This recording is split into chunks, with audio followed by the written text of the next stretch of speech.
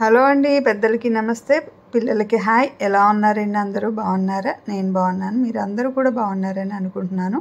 Morning లేవగానే ఏం చేస్తామండి? పాల ప్యాకెట్లు వచ్చిన తర్వాత వాటిని నీట్గా కడిగేసుకొని ఫ్రిడ్జ్లో పెట్టేసుకోవడం లేకపోతే మాకు ముందు రోజు పాల ప్యాకెట్ ఉంటుంది. దాన్ని తీసి బయట పెడతాను. ఎందుకంటే మనం కాసే టైంకి అవి కొంచెం రూమ్ టెంపరేచర్కి వస్తాయి. సో కాసేటప్పుడు త్వరగా కాగుతాయి. అలాగే అవి కొంచెం గ్యాస్ కూడా సేవ్ అవుతుంది దీనివల్ల. అలాగే మనం టిఫిన్స్ ఏమన్నా పిండిలో అవన్నీ ఉంటే దోశ పిండి కానీ ఇడ్లీ పిండి కానీ ఉంటే వాటిని కూడా తీసి బయట పెట్టుకోవడం బెటర్ టిఫిన్స్ వేసే టైంకి అవి కొంచెం రూమ్ టెంపరేచర్కి వస్తాయి అన్నమాట. అండ్ నెక్స్ట్ గిన్నెలు బుట్టలో ఉన్న గిన్నెలన్నీ స్టాండ్కి సర్దేస్తాను. ఇంకా ఇక్కడైతే మిక్సీ జార్లు కూడా ఇక్కడే పెడతానన్నమాట. ఎందుకంటే మనకి త్వరగా ఏ జారు అవసరం ఉంటే ఆ జారు ఈజీగా తీసుకోవడానికి బాగుంటుంది. ఆ తర్వాత మేము ఇలాగా రాగులు ఈ రాగులు నానబెట్టుకున్నాం. అదే చోళ్ళు అంటారు రాగులు అంటారు మనం పిండి మరపట్టించుకోవడానికి కొంచెం చిన్న మొలకలు కట్టేసుకుంటే చాలా క్యాల కాల్షియం ఇన్ని ప్రోటీన్స్ చాలా ఎక్కువగా వస్తాయట. మనం ఇప్పుడు ఇలాగే రెండు కిలోలు ఇది శుభ్రంగా నానబెట్టేసి ఈ రోజంతా నానబెట్టి కడిగేసి రెండు మూడు సార్లు ఈ రోజంతా నానబెట్టి రాత్రికి వాడదే వేసేద్దాం. వడ వడపోసేసి మూట కట్టేసి పెట్టేస్తే రేపు ఉదయానికల్లా చిన్న చిన్న మొలకలు వస్తాయి. అప్పుడు మొలకలు వచ్చిన తర్వాత ఆరబెట్టుకుని శుభ్రంగా పిండి చేసుకుంటే చాలా పోషకాలు అన్నీ ఉంటాయట. అందుకని డైరెక్ట్గా కడిగేసి ఆరబెట్టి ఆడించుకునే కంటే మొలకలు కట్టి ఆడించుకుంటే మంచిదని మనం ఇలా చేస్తాం ఇప్పుడును. కడిగేస్తాను. రెండు రెండు మూడు సార్లు శుభ్రంగా కడిగేసి.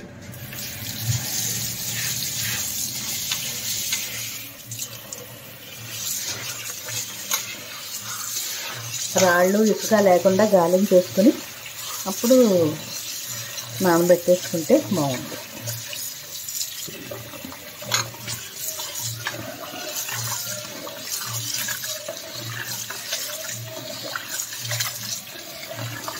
ఆరబెట్టేసుకోవచ్చు. పిండి తీసుకున్నాం అనుకో ఇంత అలా చేస్తారో లేదో డౌట్ కడిగి ఆరబెట్టి మనం కొనుక్కున్న పిండి కంటే ఇలా ఒకవేళ మొక మొలకలు కట్టుకోకపోయినా ఇలా శుభ్రంగా కడిగేసి ఆరబెట్టి మరపట్టించుకుంటేనే బాగుంటుంది పిండి. ఇలా నానబెట్టేసుకుని నైట్ ఇంకొక క్లాత్లో మొలకలు కట్టించేసుకోవచ్చు రేపటికల్లా అవి మనకి మొలకలు వస్తాయి. తర్వాత ఎండలో పెట్టుకుని ఆడించడానికి పంపించవచ్చు ఇక్కడ వచ్చేసి వెయిట్ లాస్కి నిమ్మకాయ తొక్కలు అలాగే యాపిల్ ముక్కలు చిన్న దాల్చిన చెక్క మరిగించుకుంటున్నారు అనమాట అత్తయ్య గారు. నేను వచ్చేసి ఇక్కడ దోశలకి చట్నీ ప్రిపేర్ చేస్తున్నాను. పప్పు చట్నీ వేరుశనగ పప్పు చట్నీ పుట్నాల చట్నీ అంటారు కదా. సో అదే నేను ఇక్కడ ప్రిపేర్ చేస్తున్నాను అనమాట చాలా ఈజీగా అయిపోయే చట్నీల్లో నాకు ఇది ఒక్కటి అనిపిస్తుందండి. కానీ దోశలు ఇది దోశ కన్నా ఇడ్లీకి చాలా బాగుంటుంది. సో ఇక్కడ మా మేడ్ వచ్చేసి కడుగుతున్నారు ఆవిడ. కడిగేసి గాజువన్నీ కూడా ఇక్కడ కడుగుతారండి. స్టీల్ సామాన్లు బయట తీసుకెళ్ళిపోయి బయట కడిగేస్తారు. అయితే మన పప్పు చట్నీకి అయితే పచ్చిమిరపకాయలు చిన్ని అల్లం ముక్క వేయిస్తున్నాను అనమాట తర్వాత పప్పులు వేసేస్తున్నాను. ఇంతే కదండి. ఇంకా లాస్ట్లో తాలింపు పెట్టేసుకుంటే చాలా ఈజీగా అయిపోయే చట్నీ కదా ఇది. నాకు చాలా ఇడ్లీల్లో నచ్చుతుంది బాగా. దోశలకి నాకు టమోటా చట్నీ చాలా బాగా ఇష్టం. కానీ ఈరోజు మట్టికి నేను ఇదే చేసేస్తున్నాను. ఎందుకంటే వెజిటేబుల్స్ అన్నీ అయిపోయినాయండి. ఏమీ లేవు. వెళ్ళి తెచ్చుకోవాలి. సో అందుకనేసి ఈ పప్పు చట్నీ అయితే చేస్తున్నాను. ఇంకా తర్వాత కాస్త సాల్ట్ వేసేసి మిక్సీలో వేసేయడమే. అలాగే ఇక్కడ చట్నీ మిక్సీ అయిపోయింది కదా అందుకనేసి దానిలోకి తాలింపు అత్తయ్య గారు వేస్తున్నారు. నేను వచ్చేసి మామయ్య గారికి దోశలు వేస్తున్నాను. ఫస్ట్ దోశ తోమిన తర్వాత ఫస్ట్ దోశ రావడం కొంచెం ఇబ్బంది పెడుతుంది కాబట్టి ముందుగా ఆయిల్ అప్లై చేస్తున్నాను. ఆ తర్వాత ఉల్లిపాయ కొంచెం అది కూడా రుద్దితేయండి పెనానికి. మనకి ఫస్ట్ దోశ ఫెయిల్ అయినా కానీ సెకండ్ దోశ నుంచి పర్ఫెక్ట్గా వస్తుంది.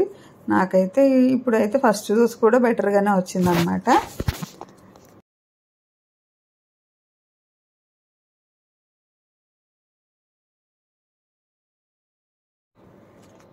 దోశ వేసుకునేటప్పుడు పెనం కొంచెం కా వేడిగా ఉన్నప్పుడు వేస్తే అది బాగా వస్తుంది దోశ. వెంటనే మనకి నాన్ స్టిక్ లాగా వచ్చేస్తుంది. ఇది ఐరన్ పెనం అండి. అయినా కానీ చాలా బాగా వస్తాయి. ఇక్కడ మైనస్ పాయింట్ ఏంటంటే ఈ పెనానికి కొంచెం మధ్యలో గుంతలా ఉంటుంది కాబట్టి మధ్యలోది ఎక్కువ కాలిపోతుంది. చుట్టూరు కొంచెం తక్కువ కాలుతుంది. సో ఫ్లాట్గా ఉండే తీసుకుంటే బెటర్ అండి. ఇది కొంచెం అది మైనస్ అనమాట దీనికి. అలాగే అయిపోయింది. ఈ మావయ్య గారికి ఇచ్చేసాం. తర్వాత నేను పూజ అది అంతా చేసుకున్న తర్వాత నేను తింటాను. అలాగే ఇది బర్డ్ అండి ఏదో వస్తుంది లోపలికి. అది బయటికి వెళ్ళడానికి ఓ ఇబ్బంది పడిపోతుంది. అందుకనేసి నేను చూసి బయట మెస్ డోర్ ఓపెన్ చేస్తే అది వెళ్ళిపోయింది అనమాట తర్వాత. ఇంకా ఆ తర్వాత మా అమ్మాయి నేను వెళ్ళి మార్కెట్కి వెళ్ళి కూరగాయలు తీసుకొచ్చాము. అది రైతు బజార్ అంటారు కదా మాకు దగ్గరలోనే ఉంటుంది. ఇంకా పెద్ద మార్కెట్ ఉంటుంది. దాంట్లో ఫిష్ ఐటమ్స్ నాన్ వెజ్ ఇవన్నీ బాగా ఎక్కువ దొరుకుతాయి. ఇక్కడైతే వెజిటేబుల్ మార్కెట్ అండి ఇది. మాకు చాలా దగ్గరలో ఉంటుంది. బీట్రూట్ చాలా పెద్దగా ఉన్నాయి. అలాగే ఇక్కడ క్యారెట్ వచ్చేసి ముక్కలు ముక్కలు కోసేసి ఉన్నాయి. ఏంటి అలా ఉన్నాయంటే అంటే సమ్మర్ కదా పాడైపోతున్నాయి అని చెప్పారు. అలాగే వెజిటేబుల్స్లో మనకి తోటకూర ఆకుకూరలో ఉండకుండా ఉంటుందా? తీసుకొచ్చాను. తోటకూర అత్తయ్య గారు కడిగేసి ఇచ్చేస్తే నేను కట్ చేసేసి ఇంకో టమోటా ఉల్లిపాయలు పచ్చిమిర్చి అలాగే ఉప్పు కారం పసుపు అండ్ చింతపండు పులుసు. ఇది పులుసు అండి తోటకూర పులుసు. ఇవన్నీ కుక్కర్ గిన్నెలో చిన్న చిన్న గిన్నె ఉంటుంది కదా దాంట్లో వేసేసాను అనమాట ఇది కింద వచ్చేసి పెద్ద కుక్కర్ గిన్నెలో రైస్ పెట్టాను. అలాగే పైన ఈ తోటకూర పులుసుకి అన్నీ పెట్టేసి పెట్టాను అనమాట మనకి తోటకూర నచ్చినా నచ్చపోయినా ఆకుకూరలు తినడం మంచిది. ప్లస్ ఈ రోజు నాకు కొంచెం బయటికి వెళ్ళి వచ్చాను కాబట్టి లేట్ అయిపోయింది. ఫాస్ట్గా అయిపోయే వంట అనమాట ఇది. అందుకనేసి అలా పెట్టేశాను. కుక్కర్లో పెట్టేస్తే చక్కగా ఉడికిపోతుంది. ఇది ఇదివరకు పాత రోజుల్లో వాళ్ళు ఇలాగే ఎక్కువ వంటలు అయితే ఇలాగే చేసుకునేవారంట. ఇప్పటిలాగా ఫ్రైడ్లు అలాంటివి ఏమీ లేవంటండి. సో చాలా ఈజీ అండ్ హెల్దీ తోటకూర పులుసు. మా సైడ్ వాళ్ళకి అందరికీ తెలిసిందే ఇది. కానీ వేరే ప్రాంతాల వాళ్ళు చేసుకోరని అనుకుంటున్నాను నేను. అండ్ మొన్న పెట్టిన మినపొడియాలు ఉన్నాయి కదండి ఈ తోటపూ కూర పులుసుకి చాలా బాగుంటుంది. ఇంకోండి ఇలా ఉడికిపోయింది అనమాట చక్కగా ఉడికిపోతుంది. రెండు ఈజీగా రైస్ అయిపోతుంది. అలాగే ఇక్కడ పులుసు పెట్టినందుకు ఇది కూడా ఫాస్ట్గా అయిపోయింది. ఇంకో గిన్నె కూడా ఉంటుందండి. ఇది టెన్ లీటర్స్ కుక్కర్ కదా. మూడు ఏమన్నా పెట్టుకోవాలనుకుంటే కూడా మూడు చక్కగా ఒకేసారి పెట్టేసుకున్నా కానీ ఫాస్ట్గా అయిపోతుంది. ఇక్కడ వచ్చేసి తాలింపుకి రెడీ చేస్తున్నాను. మొన్న చేసినటువంటి మినప వడియాలన్నమాట మినప్పిండి వడియాలు సో వాటిని ఫస్ట్ అయితే వేయించేసుకుంటున్నాను. దీంట్లో కూరకు బాగుంటాయి అలాగే పులుసుకు కూడా చాలా బాగుంటాయి. అవి తీసేసిన తర్వాత వడియాలు అండ్ తాలింపు కోసం వెల్లుల్లి ఎండుమిర్చి కరివేపాకు జీలకర్ర ఆవాలు అవన్నిటిని కూడా అదే పెనంలో వేసేస్తున్నాను. వాటిని మంచిగా వేయించుకొని ఆ తర్వాత మనం మెదిపి పెట్టుకున్న మెదు మెదుపుతున్నానండి ఇక్కడ తోటకూరని. కొంచెం టమోటాలు ఉల్లిపాయలు అవన్నీ కోస్త లో మెత్తగా అవుతాయి కదా అనేసి అదంతా కూడా వేసేసి తర్వాత మనం వేయించుకున్న ఒడియాలను కూడా వేసేసి పెడితే బాగుంటుందండి. సూపర్ టేస్టీ తోటకూర పులుసు రెడీ అయిపోయింది. సో దీనికి కాంబినేషన్గా గుమ్మడికాయ వడియాలు అలాగే మిరపకాయలు ఉంటాయి కదా మజ్జిగ మిరపకాయలు కొన్ని అప్పడాలు కూడా వేయించుకున్నాం అనమాట ఇక్కడైతే ఇవి గుమ్మడికాయ వడియాలు. అండ్ మార్కెట్కి వెళ్ళాను కదా వెళ్ళి వెళ్ళాక నాకు ముంజికాయలు దొరికినాయండి. ముం ఇలాగ తీసి అమ్ముత అమ్ముతున్నారు. ఇవైతే వంద రూపాయలకి ఇచ్చాడనమాట ఈ ముంజులు తిన్న తర్వాత కొంతమందికి డైజెషన్ ప్రాబ్లం ఉంటుంది. అంటే కొంచెం గట్టి గట్టి ఉంటాయి కదా అవి తింటే డైజెషన్ అవ్వదంటారు. సో దానికి సొల్యూషన్ ఏంటంటే ఇది తిన్న తర్వాత ఒక చిన్ని మామిడి మొక్క తింటే తగ్గిపోతుందంట. ఒకవేళ మనకి మామిడికాయలు అవైలబుల్ లేకపోతే ఆవకాయ పచ్చడైనా ఉంటుంది. దాంట్లోదైనా ముక్క తీసుకుని తినొచ్చని చెప్పారు అత్తయ్య గారు. అలాగే కొబ్బరి కొబ్బరికాయ ఎక్కువ తిన్నా కానీ అరగదంటారు దానికి కూడా బెల్లము అండ్ కొంచెం బియ్యం తినేస్తే సరిపోతుందంట అలాగే ఇది తొనలు ఉంటాయి కదా పనస తొనలు ఉంటాయి కదండి. కొంచెం ఆయిల్ నెక్స్ట్ వచ్చేసి. కూరగాయలు తీసుకొచ్చాను కదా నేను కూరగాయలు వెళ్ళి వెళ్ళేటప్పుడు పెద్ద బ్యాగ్తో పాటు. ఈ నెట్ బ్యాగ్స్ కూడా బాస్కెట్లో పెడుతున్నాను ఎందుకంటే. మనకి పచ్చిమిరపకాయలు చిక్కుడుకాయలు అలాగే దొండకాయలు చిన్న చిన్నగా ఉంటాయి.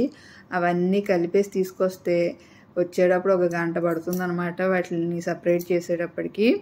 సో అందుకనేసి పచ్చిమిరపకాయలు అల్లం ఓ బ్యాగ్లో ఇది కేజీ కేజీ బ్యాగ్స్ కదా. అలా అలా వే వేయించుకుంటాను అనమాట దొండకాయలు ఉన్నాయనుకో దొండకాయలతో పాటు బనానా అది ఇవి ఉంటాయి కదా. అరటికాయలు అవి వేయించుకుంటాను. అలాగే బెండకాయలు చిక్కుడుకాయలు. ఇలాగ చిన్న ఐటమ్ ఒక పెద్ద ఐటమ్ వేయించేసుకున్నాం అనుకోండి. మనకి కడిగేసి ఈజీ అవుతుంది. వచ్చి వచ్చిన. తర్వాత వాటిని డివైడ్ చేసుకోవాల్సిన అవసరం ఉండదు. అనమాట ఈ రోజైతే కడగట్లేదు. అలాగే పెడుతున్నాను. ఒకవేళ మనం కడుక్కుని కడుక్కుని పెట్టుకోవాలనుకున్నా కానీ ఇలా బ్యాగ్స్ పట్టుకెళ్ళి దాంట్లో వేయించుకుని తీసుకొచ్చుకుంటాం కాబట్టి ఈజీగా ఉంటుందన్నమాట. ఒక గిన్నెలో నీళ్ళు తీసుకుని సాల్ట్ వేసేసుకుని నీట్గా మనం ఏవైతే పచ్చిమిరపకాయలు తెచ్చుకుంటే డైరెక్ట్గా వేసేసుకోవచ్చు. ఏరుకుని వేసుకోవాల్సిన పని లేదు కాబట్టి ఫాస్ట్గా పని అవుతుంది అండ్ ఇక్కడ దొండకాయల్లో అరటికాయలు కలిపేసి పెడుతున్నాను. తర్వాత అది కొత్తిమీర కరివేపాకు బాక్స్ని కూడా నీట్గా తుడిచేసి దాన్ని కూడా కొత్తిమీర సపరేటు అలాగే కరివేపాకు సపరేట్ బాక్స్లో అయితే పెట్టను. ఎందుకంటే మాది పెద్ద బాక్స్ దాంట్లోనే రెండు పెట్టేస్తాను అనమాట మధ్యలో డివైడ్ చేయడానికి ఒక పేపర్ పెడతాను. లాస్ట్లో ఒక పేపర్ ఉంటుంది మధ్యలో ఒక పేపర్ ఉంటుంది దాని పైన ఇంకో పేపర్ ఉంటుంది. ఎందుకంటే ఆ తడి పీల్చేసుకుంటుంది కదండి అందరికీ తెలిసింది. ఇది నేను కొత్తగా చెప్పాల్సిన అవసరం లేదు. సో పాత పచ్చిమిరపకాయలు తీసేసి వేరే బ్యాగ్లో వేసుకుంటాను. అవి అయితే ముందు వాడేస్తాను. తర్వాత ఇప్పుడు తెచ్చిన పచ్చిమిరపకాయలు కంటిన్యూ చేస్తాను అనమాట అండ్ ఇదండి. వెజిటేబుల్స్ అయితే ఇలా తెచ్చుకున్నాను. ఇలా సర్దుకుంటున్నాను. ఇవాళకి ఇంతే అండి. మరి ఉంటాను కాస్త సబ్స్క్రైబ్ చేయండి అలాగే లైక్ చేయండి మీ ఫ్రెండ్స్కి షేర్ చేయండి. మరో మంచి వీడియోతో మళ్ళీ కలుస్తానండి. బాయ్ అండి ఉంటాను